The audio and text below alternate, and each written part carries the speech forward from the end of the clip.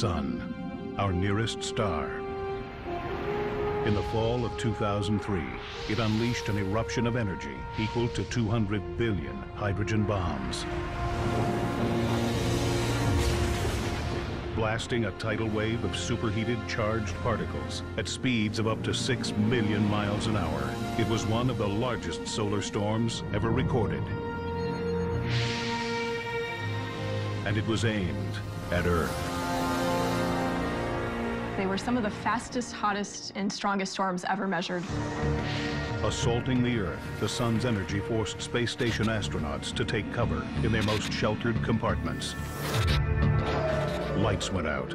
Communication streams were cut. Airliners scrambled for safety. This really was a hurricane of space storms. Though no major damage was done, these storms were a stark reminder that we live at the constant mercy of the sun. It controls all aspects of our lives. Our climate, our food, our bodies. We actually live inside the sun's atmosphere. We, along with all the other planets, are greatly influenced but is its influence changing? It's actually growing more powerful. Might we lose its protection from deadly cosmic rays? At its boundary, where it's protecting us from the intergalactic winds, that boundary is actually shrinking a bit. Will our technology-dependent society be able to handle another solar superstorm? Sometimes these effects can be so severe that they're catastrophic. And when will the next superstorm strike?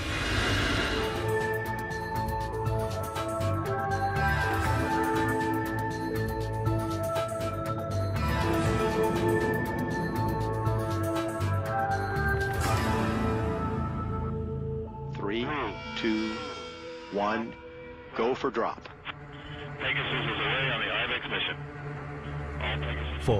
2008. Stage one ignition. NASA launches IBEX, the Interstellar Boundary Explorer.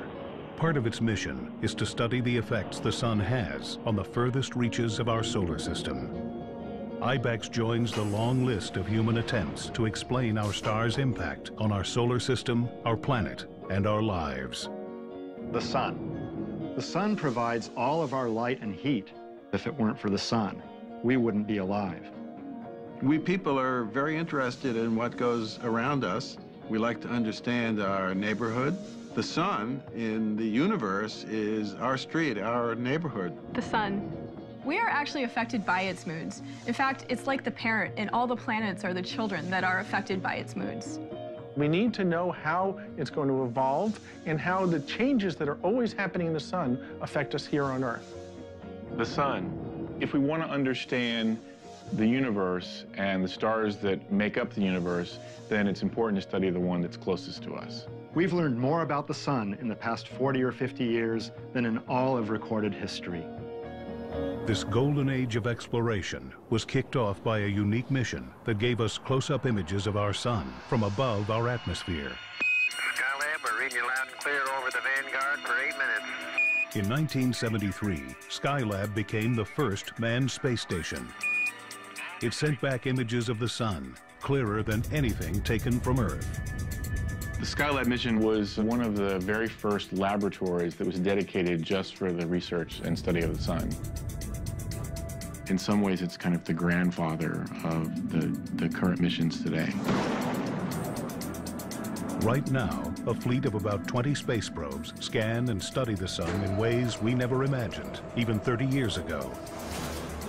By studying the sun from the vantage of space, we can see it in a whole new light, using different light wavelengths, including X-ray and extreme ultraviolet. We can peel back its layers and begin to understand how and why the sun acts the way it does. The different wavelengths mean different temperatures, and different structures are more visible in different wavelengths than in others. Our robotic space probes never stop watching the sun. With their help, scientists are working out the big questions about our star, and we already know a lot. The sun is one of over 200 billion stars in our Milky Way galaxy, but it is our closest at 93 million miles away from Earth almost the same distance as 4,000 trips around the globe. And despite that distance, its light only takes eight minutes to reach Earth. It is only four and a half billion years into its nearly 10 to 11 billion year lifespan. And though technically a medium-sized star called a dwarf, it is enormous, 900,000 miles across, and if hollowed out, 1.3 million Earth-sized planets could fit inside. The Sun accounts for 99.8% of the mass in the solar system, and it weighs 300,000 times more than the Earth. It is made up almost entirely of a superheated form of electrified and magnetized gas called plasma. The sun packs enough gravitational pull to keep the planets from spinning off into space. And as Copernicus first suggested, it rules the center of our solar system with a gravitational iron fist. Copernicus's model, in which he placed the sun in the middle of the solar system with all the planets going around it, instead of everything going around the Earth was a giant paradigm shift. It meant that the sun is the most important thing in the solar system. It meant that we really should understand the sun. Our sun, like all other stars in the universe, is made from the dust of stars that lived and died over billions of years, going all the way back to the Big Bang. So our sun and our solar system is really the debris from many generations of stars. The sun we see every day is the solar system's source of power. Deep in the center of our star, its core is superheated to 27 million degrees Fahrenheit and is the engine that drives it all. Inside the sun's core, the process of fusion is occurring, and that fusion process is giving off light and particles. Every second the sun shines, it releases the same amount of energy as 1 million H-bombs. The sun's light is made of particles called photons, born in the core, then propelled by convection currents through the radiative and convective zones of the sun. Eventually, they reach the volatile outer layers of our nearest star. The sun's outer parts consist of three regions. There's the photosphere, or surface of the sun, and it's not really a hard surface like that of the Earth. The sun is gaseous throughout. And the temperature of the photosphere is around 10,000 degrees Fahrenheit. Above the thin layer of the photosphere is another thin layer called the chromosphere. And the chromosphere is slightly hotter than the photosphere, which is counterintuitive because you would think that as you go away from the source of all the energy and heat, the core, that temperature would drop. But in fact, the temperature rises from the photosphere to the chromosphere. And it gets even hotter as you rise to the third layer of the atmosphere called the corona. And then beyond the chromosphere is a large, tenuous, extended region, the corona, which is millions of degrees.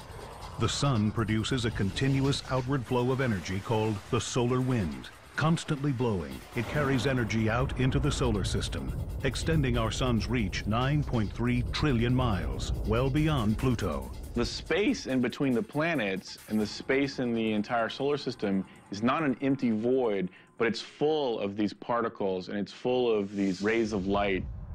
While the solar wind blows away from the sun, its gravity holds and pulls everything in. Take comets. All comets orbit the sun and can get pulled directly into the line of fire. Recently, scientists witnessed one of the sun's most dramatic outbursts, a coronal mass ejection, ripping the tail off a comet. When it hit the comet, the tail was cut off like you took a knife, and the tail drifted away. And then it took a little more time for the comet to generate more gas and plasma and dust and create a tail. It tells us about how the solar wind moves in the solar system and how it can affect things. The sun affects everything it touches, even us. To learn just how much, scientists sometimes rely on a remarkable cosmic coincidence. The lethal output of the sun has made studying it almost as difficult as understanding it. But scientists can get a good look at our nearest star thanks to a cosmic coincidence. A total eclipse of the sun. A total solar eclipse occurs when, from our perspective, the moon is exactly aligned with the sun and blocks its photosphere. It's a glorious sight. The solar eclipse is the most wonderful thing to see. It grows really dark by factors of thousands within seconds. And as it does become so dark, you can look up in the sky, you see the dark shadow coming from one direction, sweeping at you. It's really coming at thousands of miles an hour. So it's very impressive to see. Humankind has marveled at the mysteries of the eclipse for millennia. Scientists have used it as an opportunity to see the sun's outer atmosphere, the enigmatic corona. One of the hottest regions of the sun, energy from the corona radiates out to the edge of the solar system. The entire solar system actually sits in this outer corona of the sun. So this atmosphere of the sun is bathing all the planets. The engineers who built the Solar and Heliospheric Observatory, or SOHO, installed an artificial eclipse into the space probe. Called a coronagraph, it does the same thing as a natural eclipse, blocking out the blinding rays of the sun, so scientists can try and answer an old question. How does the solar corona get so hot? After all, the everyday surface of the sun, the photosphere, is only around 10,000 or a little more Fahrenheit. And the corona, on the other hand, is millions of degrees hot. If you go away from a stove, you know it gets cooler, but if you go away from the everyday surface of the sun, it gets hotter. And how is that? It all starts at the sun's core, where every second, nearly 700 million tons of the universe's most common element, hydrogen, are converted into helium through nuclear fusion, giving off the energy that becomes photons, otherwise known as light. The sun's core is really hot, several tens of millions of degrees. And there, the temperatures are so high that protons' hydrogen nuclei can come together, grab each other, fuse, eventually into helium, and in this way, release energy. What happens with these photons, they go through this process, what we call a random walk, where they have to go through the layer of the sun, they get absorbed and then reabsorbed into lots of different photons at lower energy level. So this process of being absorbed and reabsorbed millions of times can take 150,000 years. Once out of the sun's interior, photons are only eight minutes away from Earth, but they're leaving behind a world in constant motion. The solar surface boils. Energy rises constantly from below. Coils of plasma and energy called coronal loops spring across the sun while dark regions known as sunspots stretch thousands of miles. And at only 7,000 degrees Fahrenheit, these sunspots are the coolest part of the sun, emitting less light than the surrounding area. If you were to pluck a sunspot away from the sun and place it in the sky, it would actually be as bright as the full moon. Sunspots appear on the surface and are easy to see. Their genesis, however, is tied to the sun's deep interior and complex rotation. The sun doesn't rotate like a solid body. Instead, it rotates more quickly near the equator than near the poles, which leads to sunspots. The equator completes one rotation in 25 days, mid-latitudes complete one rotation in about 30 days, and near the poles, one rotation is completed in about 35 days. Called differential rotation, this process makes the sun's interior churn at different speeds, creating intense magnetism in the form of millions of magnetic field lines, which get mixed up as the sun's interior twists up like a rubber band. This builds up pressure, which makes them buoyant. So they float to the surface, and where they pop through the surface, they create sunspots. Once on the surface, the now twisted and balled up magnetic field lines block the convection of superhot plasma from rising, making sunspots appear dark. And when those sunspots start to twist around, you can imagine that you have one sunspot here and one sunspot here, and there's a, a magnetic field that connects the two. And that magnetic field gets twisted, and eventually, the same sort of thing that happens with a rubber band, it pops. When the magnetic field pops, it releases energy. And in the case of the sun and solar flares, it releases huge, huge amounts of energy. The magnetic field lines created by the twisting and churning of sunspots, though invisible, can be seen in the dramatic formations on the surface of the sun in the form of flares and prominences. It is here that the sun's influence starts, as the breaking of these magnetic field lines drives massive amounts of energy from our nearest star out into the solar system. And it is these magnetic field lines that are behind most theories on why the corona is so much hotter than the surface. It's pretty clear that it has something to do with the magnetic field that heats the corona. But presumably there are waves along the magnetic field that bring energy from underneath the surface of the sun into the corona. The solar probe Hinode, which means sunrise in Japanese, was launched in 2006. Its mission to study the interaction between magnetic field lines and the corona. Recently, it captured images of one of the waves thought responsible for heating this enigmatic region, Alfvén waves. Alfvén waves are waves that occur in a plasma, in a bunch of ionized gas, threaded by a magnetic field. And indeed, it's thought that these Alfvén waves might be bringing turbulent energy from inside the sun out to the corona, where that energy heats the corona. Energetic Alfvén waves form inside the sun and travel up through the surface, making the looping magnetic field lines sway and vibrate.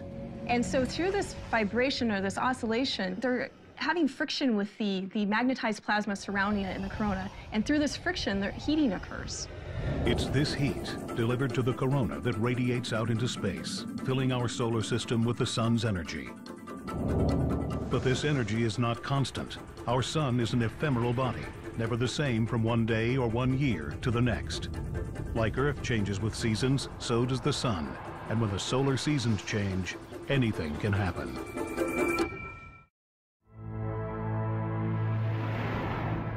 Day in and day out, the sun we see appears the same. But like Earth, the sun has seasons, solar minimum and solar maximum. Two distinct personalities that can affect our technology and possibly even our weather. The transition between solar minimums is called the solar cycle, an average 11-year period in which the sun's activity maxes out, then ebbs again. The primary measure of the solar activity cycle is the number of sunspots visible on the sun. During solar minimum, the period with the fewest sunspots, solar activity is limited. When sunspots break through the surface during solar max, the sun's power reaches out. When there are lots of sunspots, there are lots of flares and coronal mass ejections. Increases in solar activity enhance the connection between sun and earth. Energy expelled from the sun can create disturbances in the near-Earth environment. The Earth is embedded in the solar atmosphere, and so what happens on the sun affects the Earth. And that's what we call space weather. Accurate space weather forecasting is the ultimate goal, but this can be hard. The sun is turbulent, especially during solar maximum, the peak of solar storm activity. During solar maximum, the magnetic field of the corona becomes very complicated, and you have magnetic field everywhere, all around, even near the poles. You can have coronal mass ejections and flares and solar storms occurring sometimes several times a day. Solar flares, violent eruptions of energy, usually near sunspots, burst into space. Like a bolt of lightning, quick and powerful, they can happen over a matter of minutes and can give off the same amount of energy as a billion megatons of dynamite. Solar flares are gigantic outbursts of energy from the sun coming from a very small localized region of the sun's surface. So they're very concentrated ejections of energy that heat the surrounding gas to 10 million degrees. Solar flare is sort of like a snapping of the whip. It really releases a lot of energy very quickly, accelerating particles almost up to the speed of light. The particles from the very most energetic solar flares can reach us in something like 15 minutes. But the solar hurricane of space weather comes from coronal mass ejections. These massive blasts carry billions of tons of superheated gas and plasma into interstellar space. So coronal mass ejection is where a, a, huge amount of mass and energy is expelled away from the solar surface. So if you can imagine this huge amount of mass and energy traveling away from the sun at these large speeds, sometimes at over a million miles an hour. They throw these like big bubbles of hot gas and magnetic field. It can move off the sun so quickly that it actually creates a shock wave. They're the biggest storms, and they're the important ones for understanding space weather. Solar probes, like SOHO, have captured the sun expelling massive amounts of energy into space. But scientists are most concerned when they see something called the halo effect, when the cloud of energy appears to surround the coronagraph. That means the sun has aimed its latest blast at us, like in the massive solar storms of 2003. The fastest coronal mass ejection ever studied in modern times came from these storms. Shortly after the initial blast from the sun, SOHO was bombarded by charged solar particles, protons and electrons, overwhelming the camera and causing the image to drop out. What happens is you see a sort of snow on the camera, all sorts of sparkles going by, and that's the particles accelerated by the coronal mass ejection hitting the actual camera on SOHO. If caught off guard, solar storms can harm astronauts, exposing them to the same amount of radiation in seconds that we receive on Earth in a year. So if we're going to send astronauts back to the moon and to Mars, it becomes very important to be able to determine when these coronal mass ejections and storms are going to occur. The charged particles embedded in these coronal mass ejections are dangerous. It's a lot of radiation that would hit an astronaut. Astronauts and satellites aren't the only potential victims of solar storms. The particles blasted towards Earth can interact with our magnetic field, occasionally wreaking havoc. When this material comes smashing into the Earth's magnetic field, it causes it to ring almost like a bell. And when you have a magnetic field and when that magnetic field moves, physics tells us it's going to create currents. And so electrical currents will be created in the, the outer atmosphere of the Earth. And these electrical currents can cause all sorts of disturbances. The currents create problems for satellites orbiting the Earth. They disrupt global positioning systems. They can interfere with communications equipment causing radio blackouts and knocking out mobile phone systems. These mass ejections can send so many charged particles toward the Earth that some of them make it through the Earth's magnetic field and even reach power stations here on Earth, causing surges of, of electrons and, and power outages and short circuits and things like that. In extreme situations, solar storms cause excessive radio interference and increased levels of radiation, requiring planes flying near the poles to be rerouted. But as powerful as the storms were in 2003, they're no match for what astronomer Richard Carrington saw in 1859, a super flare. The super flare of 1859 was incredible because prior to this event, we didn't even know that flares existed. Carrington saw this huge bright flash on the sun with the unaided eye. And in order for him to see that, it had to have been a super huge, huge flare. There were reports of telegraph lines running uh, without being powered. We probably won't see another one that intense in our lifetime, although it's hard to say for sure. The sun has thrown us some surprises. If a similar storm were to strike today, one recent estimate projects 130 million people would lose power possibly for months. Most of the electrical infrastructure, the power grids around the world would be knocked out. A lot of the transformers would be overloaded. Having the, a large portion of the population with no power for, for many, many months could cost huge amounts of money. People have estimated that it would be upwards of $2 trillion. We won't know unless it actually happens, and the more warning we get, the more we can do to reduce the economic impact, which is one of the reasons why we're studying the sun. Scientists are a step closer to being able to predict these storms since the launch of the Solar Terrestrial Relations Observatory, also known as STEREO. This pair of probes now gives scientists the ability to see the sun in 3D. So now, when one of these coronal mass ejections travels towards us, we're actually looking the side view. And so we can see how fast they're traveling, we can see how they're evolving, the structure.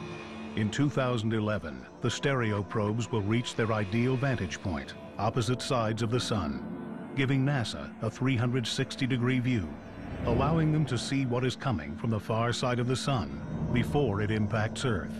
And so for the first time, we're going to have a complete view of the sun all the way around. So this is going to allow us to see everything that's happening on the sun at the same time, and this will lead us again into a better ability to predict these types of storms. But as dangerous as solar maximum can be for its increase in space weather, the sun's solar cycle counterpart and calmer period, solar minimum, may come with its own dangers. When there are a low number of sunspots on the sun, the climate here on Earth can actually cool a little bit. 2008 saw the fewest number of sunspots in nearly a century, with a total of 266 sunspot-free days. In 2008, we were at sunspot minimum, but by now we expected to be climbing out of that sunspot minimum, and we're not. So this could mean that this particular sunspot minimum is more protracted. Scientists believe that past protracted minimums have had a chilling impact here on Earth. Now, every once in a while, the sunspot activity cycle seems to just go away or become much diminished. There was such a period around 1650 to the early 1700s. There were only about 50 sunspots recorded when normally in the same time frame there are tens of thousands. So it was a really low, low uh, period of, of sunspots. It was called the Maunder minimum. The sun was in a quiet state. And that was associated with lower than normal temperatures here on Earth. Europe experienced sort of a mini ice age during those few decades. Whether or not this current minimum will be protracted enough to have such a large impact on Earth won't be known for years. But another measure of solar activity, the solar wind, appears to be waning. And that could impact Earth tomorrow. Bathed in the sun's atmosphere, Earth is shielded from deadly cosmic rays. And while the sun's power protects us, it can also harm us. Life on Earth survives this close to its star thanks in part to its ozone layer. But what would happen if the ozone layer were gone? If Earth lost much of its ozone layer, ultraviolet radiation from the sun would penetrate through the atmosphere and reach the Earth's surface. The sun's massive amounts of ultraviolet rays would quickly eliminate most basic elements of the food chain, wiping out plants and then animals. If we are bathed in huge amounts of ultraviolet light, eventually the life on the Earth would die. But what could cause such a catastrophic collapse of the ozone layer? Something the sun is supposed to protect us from. A gamma ray burst. Gamma ray bursts are intense, brief flashes of the most energetic kind of radiation known, gamma rays the most powerful events in the universe. In seconds, they give off the same amount of energy that the sun will emit in its entire life. They occur when certain large mass stars die or even collide. They can be generated from very um, extreme processes, such as large mass stars collapsing into black holes. They occur somewhere in the sky roughly once per day, and they come from very, very far away. Most of them are billions of light years away. But just 8,000 light years away, deep within the Sagittarius constellation, buried in a pinwheel-like formation, looms a potentially ticking time bomb. WR-104. Two stars locked in a cosmic dance, spinning a full rotation once every eight months. But one of these stars is on the verge of going supernova and emitting a gamma ray burst. Now, one of these two stars is a very massive star that might someday form a gamma ray burst, and its beam might hit the Earth. If the high energy beam from a gamma ray burst were pointing directly at the Earth, it could spell real danger. The radiation from the gamma ray burst would be so intense, very short, on the order of 10, 20 seconds, but this would set up a, a chain of events which eventually would deplete the Earth of maybe 50 or more percent of the ozone layer. Scientists have speculated that a nearby gamma ray burst caused an ancient extinction on Earth millions of years ago. At the time, there was only sea life that was ex that existed, and even though the sea life deep beneath the sea wouldn't be directly affected by the UV radiation, the plankton and the life on near the surface would die off, and therefore the food chain would be affected. The threat is heightened even further by something scientists have witnessed over the past few decades, a 20% decrease in the power of the sun's solar winds. The solar wind is the steady emission of particles from the sun. They carry the magnetic field that is in the solar corona out into space. It exists even when there are no coronal mass ejections or solar flares the solar wind continues way out beyond the orbit of Pluto and has actually blown a bubble in interstellar space. Now that's a bit of a protective bubble because the magnetic fields protect us from charged particles coming from outside. Normally, solar winds stream off the sun in all directions at speeds of 1 million miles per hour. Pulling the sun's invisible magnetic field along with it, they form the solar system's defense against intergalactic intrusion. the heliosphere. The heliosphere is the very boundary where the solar wind hits intergalactic space. So it's this shell that's surrounding the sun and the uh, solar system where it protects us from intergalactic winds here on Earth. Recently, scientists have learned that the heliosphere is shrinking and getting weaker. The solar wind pressure has been measured to be decreasing over the last 25 years. In fact, the heliosphere, where the solar wind pressure is, is extending out to, has actually shrunk a bit. A weaker heliosphere increases the possibility that Earth will be exposed to harm from intergalactic cosmic materials.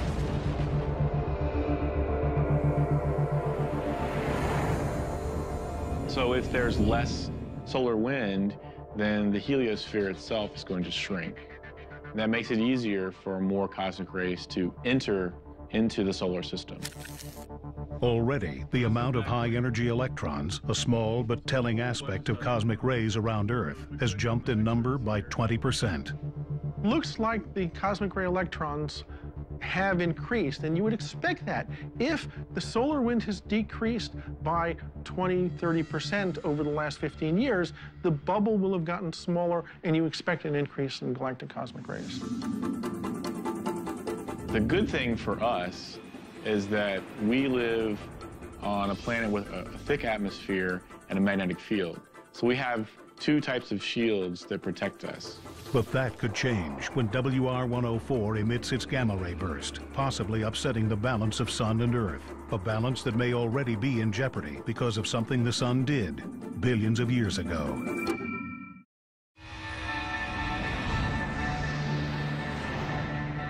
Over billions of years, the Sun and the Earth have developed the perfect balance for life to thrive. Sitting in the Goldilocks position of the solar system, not too hot and not too cold, the sun gives us just enough light, just enough heat, and just enough energy to fuel our planet and our lives. The sun drives everything on the Earth. The sun is the energy source of the Earth. So all of the energy that's given off by the sun heats up the Earth. This drives weather. Uh, on a larger time scale, this drives climate. Uh, and so the ener- basically the sun is the energy source. It's the battery that drives the whole Earth environment. Plants harness the sun's energy through photosynthesis, creating carbohydrates. People and animals consume these carbohydrates, converting them into energy we can use. Even the fossil fuels that power our lives were created by the sun. But our increased use of fossil fuels seems to be upsetting the balance between the sun and the earth.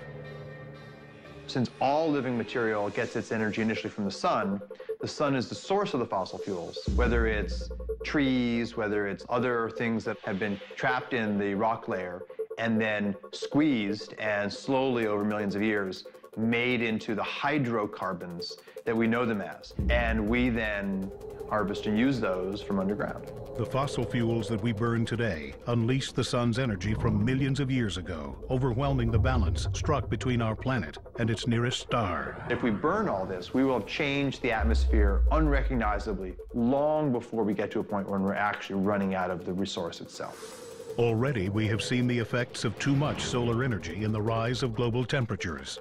The release of millions of tons of ancient solar energy stored in fossil fuels has amplified the necessary and natural process called the greenhouse effect.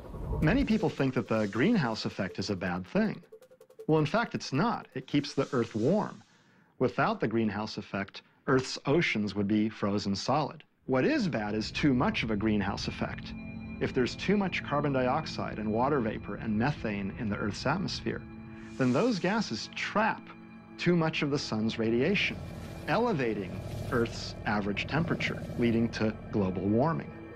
Now that can cause a melting of the polar caps and a rise in the ocean levels, leading to just a calamity on Earth if it happens too quickly.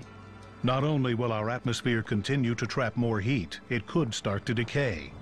Continued use of fossilized solar energy will allow in undesirable amounts of radiation from our sun. Right now, our ozone layer prevents the majority of the sun's ultraviolet radiation from reaching Earth, while allowing just enough sunlight to give us what we need to survive. Sunlight interacting with our skin produces vitamin D, which is a, a very useful vitamin. Vitamin D can protect us from a number of diseases, including the bone disorder osteoporosis and heart disease. But here too, a balance has been struck. Too much sun can alter our DNA, causing skin cancer. Maintaining the equilibrium between sun and earth that allows life to thrive will require using less of the sun's ancient energy and more of the energy it delivers on a daily basis. After all, the sun's energy output is estimated to be 386 billion billion megawatts. Meaning in 15 minutes, our star radiates as much energy as all life on Earth consumes in one year. Tapping this power source has been the goal of scientists for decades. For sheer size, a solar satellite would be unprecedented. A structure 35 to 40 square miles covered with solar cells, able to capture the sun's energy 24 hours a day and beam it to Earth. NASA has yet to achieve a goal on that scale, but their work with solar technologies in space has advanced technology here on Earth. History of solar cells is essentially a technology that came back down to Earth from space. When we first started to work on the Apollo and Mercury and Gemini programs, we needed power plants in space. Solar cells were a natural way to do that. Currently, we have two ways of directly harnessing the sun's energy. Solar thermal, which converts the sun's energy into heat by concentrating it enough to drive turbines, and solar panels, which use silicon-based technology to directly convert the energy from above into electricity. We can indirectly tap into the sun's power through wind turbines, capturing the energy produced by the weather the sun helps create. These technologies are constantly being improved, but some of the most interesting new science is coming from a very old process, photosynthesis. There's some really exciting opportunities as we move from the world of semiconductor solar cells to organic ones. Attempting to mimic Mother Nature, scientists have been able to create electricity from something found at the farmer's market, spinach. There's organic molecules in spinach, in all green plants, but spinach happens to have a very convenient one, where you can harvest that peptide, that molecule, Researchers were then able to put that peptide into a kind of solar sandwich, placing it between two electrically conductive materials. And when it's exposed to sunlight, it will circulate electrons, which is current, which is electricity. So these organic molecules can actually become little solar cells.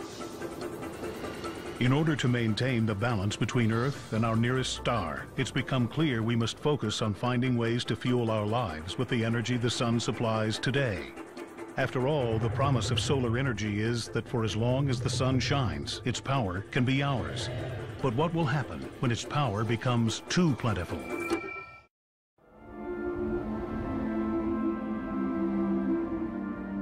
The elements that make up the sun, the earth, and even humankind all come from one place, stardust. The remains of stars that lived billions of years ago. And just as those stars died, so too will our sun. In about 5 billion years, the sun will pretty rapidly become much more powerful, much brighter, and much bigger. The sun will reach a stage where it has burned through all of its hydrogen.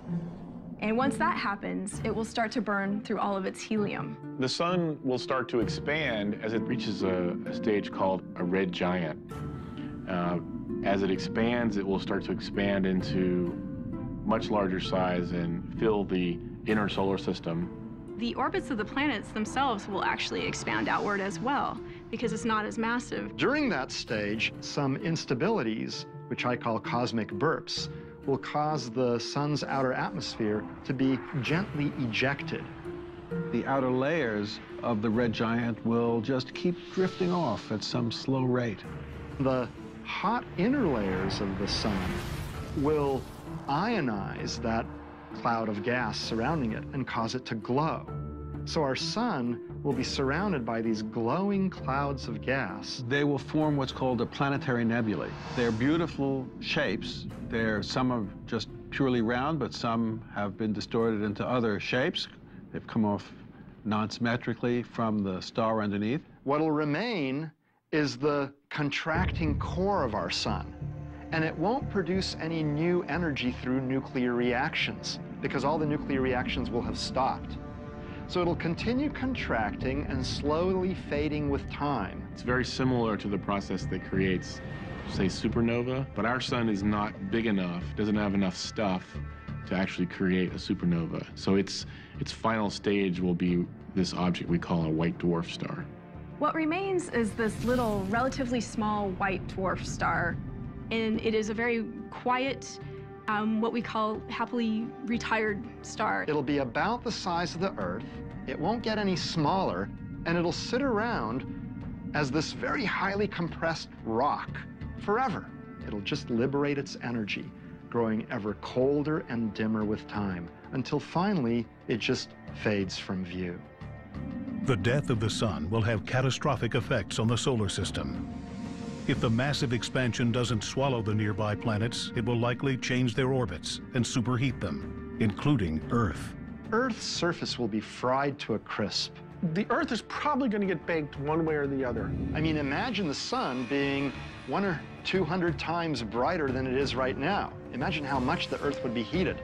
It would not be a pleasant place to be. It actually may get baked before the sun completely dies because uh, the sun will get hotter before, even before it becomes a red giant and gets as large as the orbit of the Earth. Uh, it'll get warmer, and at some point the Earth will get hot enough so that water will boil. So the oceans will evaporate away, and all of life as we know it will cease to exist. If there's anything left of the Earth, the sun will shrink down to a white dwarf, and the Earth will, instead of heating, freeze. This will not be a pleasant place to live. But that's billions and billions of years from now. Uh, we've only had rockets in space, satellites, for 50 years or so. We're talking, now we're talking billions. So clearly we'll be able to travel around the solar system at the very least to uh, go to places that will be at the temperature that the Earth is now, and we'll be able, by that time, to go to more distant solar systems. So I don't spend a lot of time worrying about what's going to happen to the sun in five billion years. The sun gave us our life, and it will eventually take it away. And though the Earth will die, it and everything on it will in some part live on. The stardust that gave Earth and all of its inhabitants life will one day become the stardust that gives rise to a new generation of planets, stars, and life. So indeed, we are stardust. The carbon in your cells, the oxygen that you breathe, the calcium in your bones, the iron in your red blood cells. All those elements were created deep inside stars through nuclear reactions. And because some of those stars explode, we eventually are able to exist. The realization that we came from the stars is one of the greatest discoveries ever in all of science.